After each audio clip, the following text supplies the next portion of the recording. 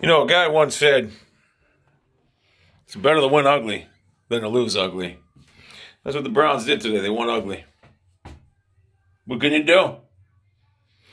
They won ugly. Years ago, they'd lose games like this. Hell, I remember playing the Patriots in a game we uh, dominated them. Minute and a half left, they come back from 14 points down and won. With Rob Chudzinski was our head coach, something like that. So we needed to win a game like this. Uh, defense, it's terrible. Can't get pressure on the quarterback. Can't cover the back end no more. Uh, I mean, it's just we were lucky to win. Listen, last week we played the best team in football. and We should have won. We beat ourselves. This week we played the worst team in football, and we should have lost. People say, "Oh, we should have never lost." If Tyrod Taylor starts the second half, we probably lose that game. We won ugly. I don't have much to say about this the, the game. I really don't. It's nothing to say. We played terrible. It's one of them games you you don't spend much time on it. You go on to Chicago.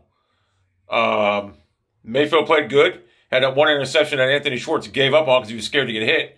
Can't have that in this league. You got to go up and fight for the ball. Can't just give up on you scared.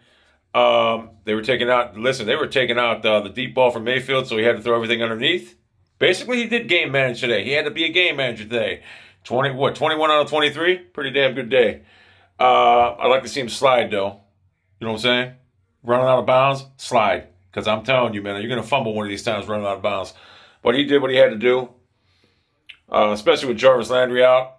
Can't count on Schwartz, obviously. Couldn't count on him last week. I mean, so you can count on what's his name though, Donovan Peoples Jones and Higgins, even though Jones fumbled was a hard hit.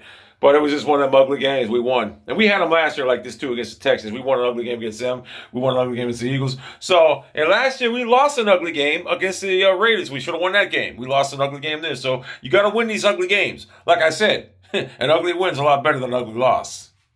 It's football. We should have beat the best team in the league last week. We lost. We outplayed them. We beat ourselves. This week, we played like shit. We should have lost, and we won. So it's football. Shit happens like this, you know. Gotta adapt. Darwin, E. King Ching. You know what I'm saying? That's what you gotta do. You gotta move on. Learn from it. And we will learn from it. So, AFC East or AFC North, we're in first place tie right now with Cincinnati and Pittsburgh. And we're the best team in the division. We have the best quarterback, the best roster. And right now, our defense will get better once they get all healthy and they start using it. Once they play as a unit, cohesiveness. About six game of the season, you're going to see a dominant defense. Trust me, a far cry from what you're witnessing right now.